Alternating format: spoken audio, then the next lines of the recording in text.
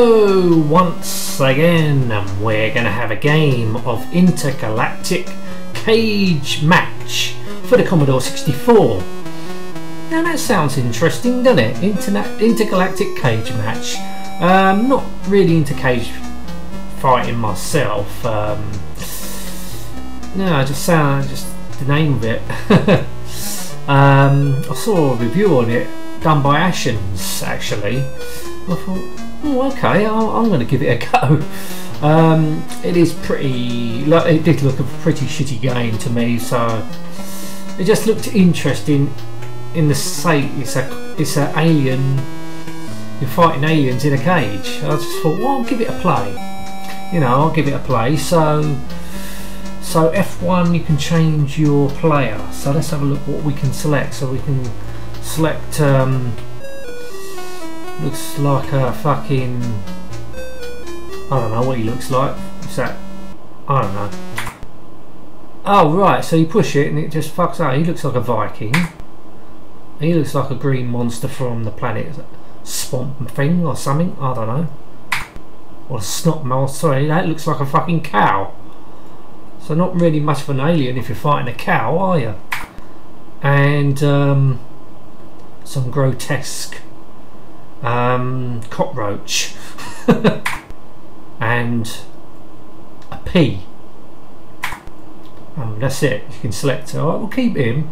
So we'll just keep. Um, let's. We should choose an opponent. Um, so we got the cow. Oh, they're all different colours. So that's not quite a pea. That's um, a bean. I don't know. Or you can fight yourself. Okay, let's just go for that the cow. Um, F5 toggle two players, so we'll want it on computer. So now it's selected on computer. And let's start the game. Oh my god. So we've got to listen to the music to see what music, music we can consist of. Punch. Oh, he's got me. Oh, he's So is that all I can do is just punch? Just, oh, hang on, what am I doing? Fucking him, look! That's not a fucking, it's not a move that I want to do. So you can either punch or fuck. But, you don't have to fight him. There's a, there's a way round this game, we can just win straight away. Hang on, if there we go. This is how you can win the game. Just climb out of the cage. Just climb up the cage rather and climb out the ring. You instantly win the game and the other player can't do absolutely fuck all to stop you. So that's a well programmed game, isn't it? So let's do that again. So here we go. We're about to win the game again because we're just climbing up the cage and out the ring and there's absolutely nothing the computer can do about it. so basically you can do that when you're playing two player mode. Um, first one basically to climb out the cage, just like that. And it's that easy because the computer can't even pull you down or do absolutely nothing to stop you. I mean, what a load of utter crap this is. So, that must... So what happens now? We just... So the game just continues. So let's have a proper fight then. Oh, he gets me.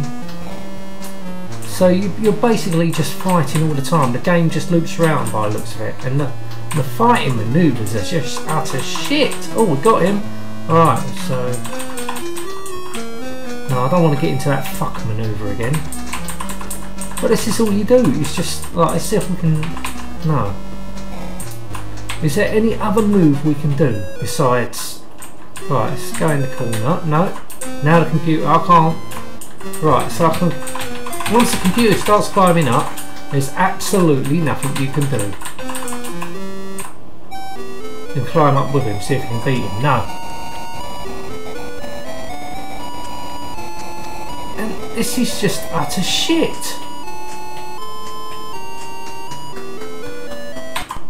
Oh, so when the computer beats you, it, then it goes into the title screen. And I have to say, the music is atrocious. It's fucking one of the worst pieces of music I've ever heard on the Commodore 64.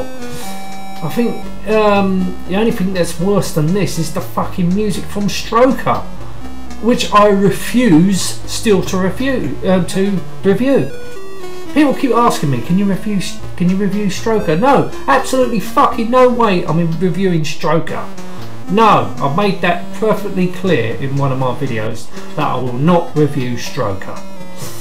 Anyway, I'm going to end this now. Thank you so much for watching. Till next time, and goodbye.